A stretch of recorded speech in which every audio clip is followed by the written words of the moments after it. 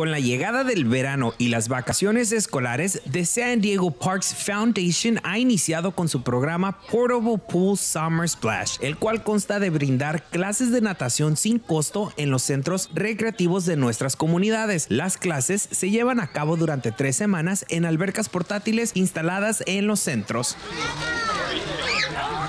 Es tan importante que los niños aprendan a, nadar. Ah, muchos niños se ahogan, especialmente durante el verano, en cualquier, uh, cualquier agua, pues uh, en, en, piscina, en, el mar, uh, en el baño.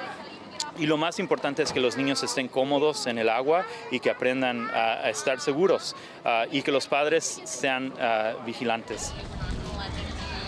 En los últimos 15 años se han registrado 194 casos de niños que se han ahogado en el condado de San Diego, por lo que esto es muy importante para que ellos puedan aprender a patalear, flotar. Este es un programa de seguridad, además de prevenir accidentes en el agua.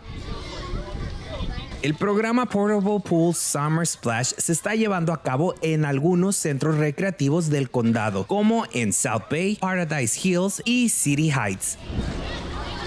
Durante el verano, las albercas públicas son abiertas. Además, existen programas de natación, por lo que es necesario tomar las medidas necesarias para disfrutar del calor en las albercas. Para 50 en 50, Juan Villanueva.